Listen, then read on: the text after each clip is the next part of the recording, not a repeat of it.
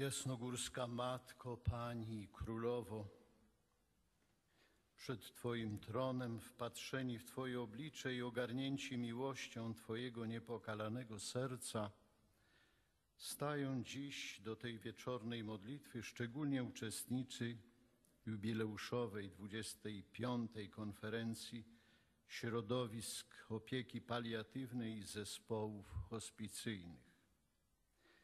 Jak co dzień w tych ostatnich miesiącach w tym miejscu zanosimy do Ciebie, Matko, błagania o uratowanie świata przed nienawiścią, która zalęgła się w sercach ludzkich i objawia się w wojnie na Ukrainie i nieprawościach w wielu miejscach na świecie.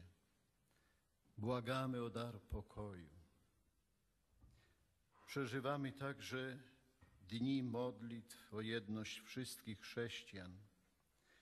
Wstydzimy się tego, że jesteśmy tak podzieleni, a przez to oddaleni od wspólnoty przy jednym ołtarzu.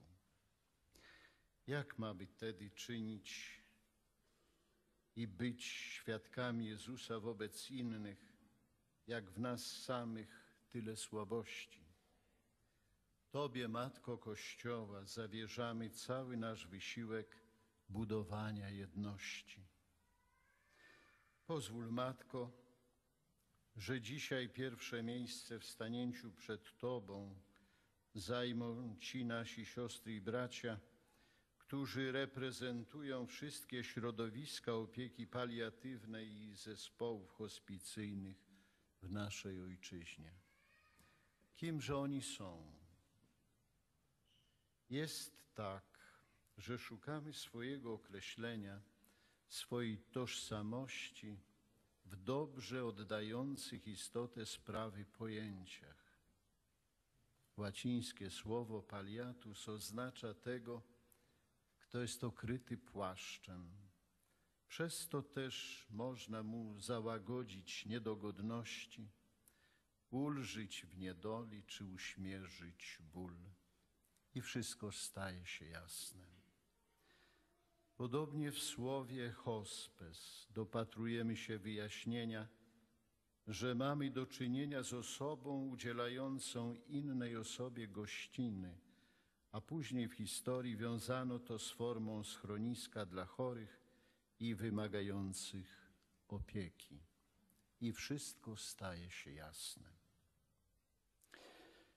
Święty Maksymilian Kolbe nazwał Ciebie Matko Wszechmocą błagającą. To wezwanie wydaje się nam dziś wyjątkowo bliskie, bo tylko Wszechmoc łaski Bożej może zaradzić wszystkim cielesnym, duchowym i psychicznym cierpieniom, które w tych wyjątkowych placówkach przeżywają pacjenci, podopieczni oraz ich bliscy. Ufamy, że ich serdeczne błagania o pomoc, o nadzieję, o wewnętrzny pokój serc, zanoszone w dniach, tygodniach i miesiącach ich dojmujących doświadczeń, budzą głębokie współczucie w Twoim sercu, Matko niezawodnej nadziei, Matko czuwających, Matko wszystkich trwających do końca. Każde hospicjum stacjonarne, hospicjum domowe czy placówka pomocy paliatywnej to przestrzeń wyjątkowej posługi. Wymaga od każdego, kto przekracza ich progi, wspięcia się na swoisty szczyt umiejętności, kompetencji, zaangażowania z bezgraniczną wręcz wrażliwością, czułością, delikatnością wyczuciem i dyskrecją. Dlatego zawierzamy Tobie wszystkich lekarzy, pielęgniarki, kapelanów i wolontariuszy, prosząc o łaski, które umożliwiają im pochylenie się nad oczekującymi ich pomocy chorymi. Matko Najpiękniejszej miłości, módl się za nimi i za, i za, módl się z nimi i za nimi Wspieraj, wypraszaj umysłom światło najlepszych decyzji, delikatność dłoniom, cierpliwość sercom. Zechciej w nich przez ich ręce, serca, słowa i obecność pochylić się nad wszystkimi oczekującymi wsparcia. Święta Boża Rodzicielko, z ufnością polecamy Tobie hospicja dziecięce i perinatalne.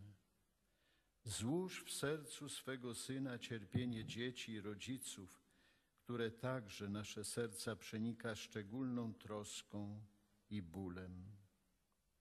Wciąż jeszcze wpatrzeni w betlejemski żłóbek, z Tobą i świętym Józefem prosimy, podnieś rękę Boże Dziecię, błogosław. Błogosław wszystkim, którzy żyją nadzieją i prawdą słów. Bóg jest miłością, a wszędzie tam, gdzie jest prawdziwa miłość, tam jest życie. Święty Jan Paweł II mówił: Cierpienie w świecie jest po to, żeby wyzwalało miłość, żeby rodziło uczynki miłości bliźniego, ażeby całą ludzką cywilizację przetwarzało w cywilizację miłości. Taka jest logika Krzyża Chrystusowego, taka jest logika Twego, Matko Bolesna, darowania pod krzyżem umiłowanego Syna. Każde hospicjum, placówka opieki paliatywnej są współczesnymi szczytami Golgoty z umierającym na krzyżu Zbawicielem. Intensywność cierpienia tam w Wielki Piątek i dziś na naszych oczach zamyka nam usta, a jednocześnie otwiera serca. Matko miłosierdzie, tak jak prosimy, by dzięki Twemu wsparciu nie okazał się dla nas daremnym krzyż Chrystusa, byśmy nie pozostali głusi na Jego wołanie, nie zaprzepaszczali wysłużonego nam zbawienia, tak dziś błagamy, byśmy nie zmarnowali cierpienia, którego jesteśmy świadkami. Ileż łask, które otrzymujemy, zostało nim duchowo opłaconych. Wszyscy jesteśmy niewypłacalnymi dłużnikami Bożej dobroci i równie niewypłacalnymi dłużnikami cierpienia bliźnich.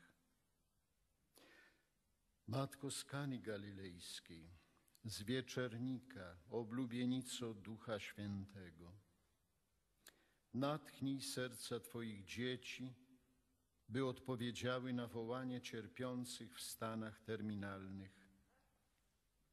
Niech nie zabraknie osób wspierających hospicja i placówki opieki paliatywnej swoją hojnością i ofiarą. Niech zawsze znajdą się gotowi nieść pomoc lekarze, pielęgniarki i kapelani. Niech wrażliwi wolontariusze nadal oddają swój czas i serca tym, którzy najbardziej ich potrzebują. Stojąc przed Tobą, Pani Jasnogórska, w tej godzinie apelu prosimy, wzbudź w nas tę wrażliwość ducha i serca, rozpal ogień gorliwości i współczucia, który niegdyś przenikał błogosławioną Hannę Chrzanowską, prekursorkę działań hospicyjnych w naszej umiłowanej Ojczyźnie. Amen. Pod Twoją obronę uciekamy się, święta Boża Rodzicielko, naszymi prośbami. Racz nie gardzić w potrzebach naszych, ale od wszelakich złych przygód racz nas zawsze wybawiać. Panno chwalebna i błogosławiona, o Pani nasza, orędowniczko nasza, pośredniczko nasza, pocieszycielko nasza, Synem swoim nas pojednaj, Synowi swojemu nas polecaj, swojemu Synowi nas oddaj. obecnych wśród nas, księdza arcybiskupa Wacława, księdza biskupa Romualda, prosimy o udzielenie nam pasterskiego błogosławieństwa.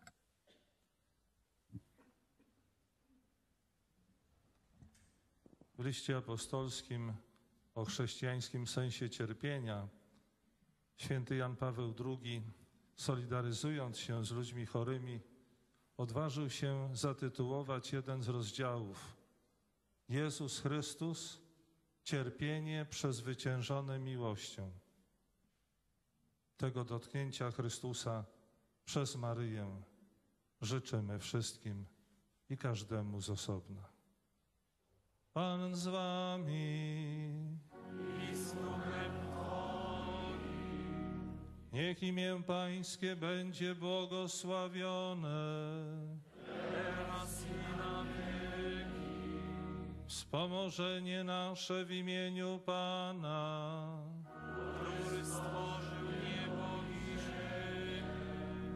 Niech was błogosławi Bóg Wszechmogący, Ojciec i Syn i Duch Święty.